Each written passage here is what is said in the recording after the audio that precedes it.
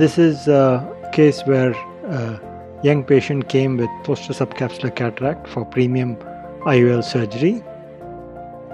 So after the incisions are done, uh, viscoelastic is introduced into the antechamber and a 5 millimeter capsulorhexis is performed with a cystotome. Hydrodissection is performed and the nucleus partially prolapsed into the anterior chamber. Since this is a soft nucleus, it's very easy to remove it just with aspiration. And then cortical cleanup is performed with a coaxial IA.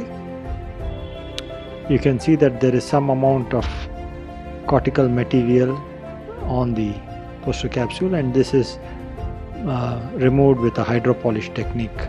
Also note that there is fibrotic plaque and uh, it is very important to remove this fibrotic plaque thoroughly and meticulously otherwise it can increase scatter especially in a premium IOL can cause patient dissatisfaction. Here I am using the forceps from Moria as a pick and also to peel off the posterior capsule plaque. Fibrotic plaques are removed and then I am using a nightingale polisher to polish the capsule and remain remove any of the finer fibrotic material which is there.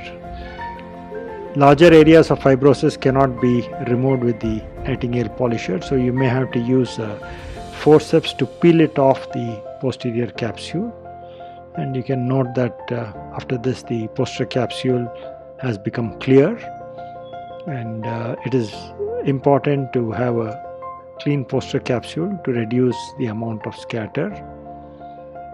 And uh, here a PanOptix trifocal lens is introduced into the capsular bag. And then that's the end of the procedure. Thank you very much for watching